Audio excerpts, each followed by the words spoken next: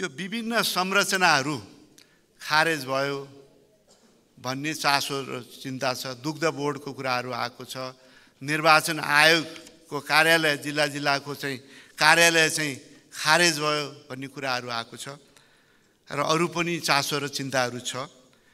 हामीले खनाल आयोग जुन सिफारिस थियो धेरै ठुलो माग थियो माननीयज्यूहरूको पनि माग थियो त्यसलाई कार्यान्वयन गर्नु पऱ्यो अनावश्यक खर्च कम गर्नु पऱ्यो औचित्य नभएका कार्यालयहरू खारेज गर्नु पऱ्यो त्यस्तै गरेर चाहिँ कुनै एउटैले एक ठाउँमा ल्याएर समायोजन गरेर काम हुनु हुन्छ भने त्यसो गर्नु पऱ्यो भन्ने माग थियो। त्यसैलाई मध्यनजर राखेर हामीले यो कुराहरू चाहिँ गऱ्यौँ यो कुरा चाहिँ गरेको हौँ। जहाँसम्म निर्वाचन कार्यालयको कुरा हो यो कार्यालय खारेज भएको होइन। त्यो छुट्टै जुन चाहिँ कार्यालय थियो त्यसको सट्टामा सिडिओ कार्यालयभित्रै त्यो भवन भित्रै त्यसको कार्यालय निर्वाचन कार्यालयको इकाइ राख्ने त्यसले चाहिँ खर्चमा केही कमी आउँछ। कति चाहिँ कमी हुन्छ र भन्ने कुरा छ। अब यस्तै यस्तै थोरै थोरै जोडेर धेरै हुने हो। त्यो त्यो चाहिँ हाम्रो आशय हो।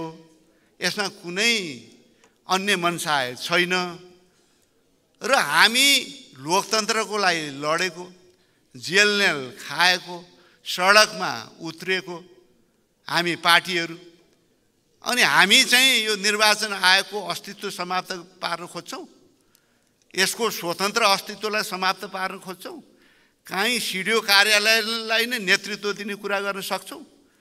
त्यो कार्यालय परिसर युज गरेर चाहिँ खर्च अलिक कम हुन्छ कि पाँचै वर्ष चाहिँ त्यो सधैँ त काम हुँदैन? भनेर पो त्यो भने। यसमा कुनै समस्या छ भने यो समस्यालाई पनि हामी सम्बोधन गरौँला हामीले चाहिँ भनिसकेका छौँ।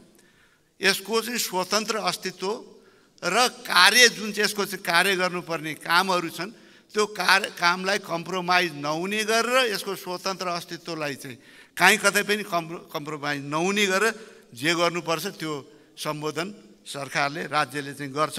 त्यसमा काहीँ कतैबाट पनि शङ्का मानिरहनु पर्दैन। सम्बन्धित निकायहरूसँग कुरा पनि भइसकेको छ। प्रधानमन्त्री सम्मान्य प्रधानमन्त्रीको म पनि त्यसमा थिएँ।